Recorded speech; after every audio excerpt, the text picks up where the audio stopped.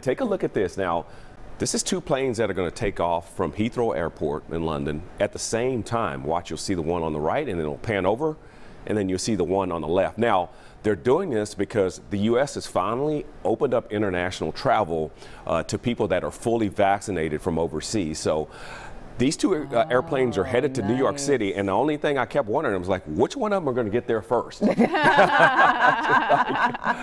Oh my goodness. But but a, a good sign of things to come that uh, you know that our country is kind of slowly uh, but surely kind of getting back to normal with these two international flights headed to the U.S. It is nice to see, you know, some kind of sight of normalcy returning, Yes. you know, and now that we're noticing there are so many things that are being lifted, uh, Canadian travelers or other Mm-hmm. countries being able to come in and go and it's just a wonderful thing. I we love went that. through a very stressful Oh, 2020, absolutely. which And- carried on into 2021. So You're definitely not gonna, not going to see that too often right Yeah. now. Good sign of things to come. All right, Ron, Ron. thanks. Okay. Thanks so much.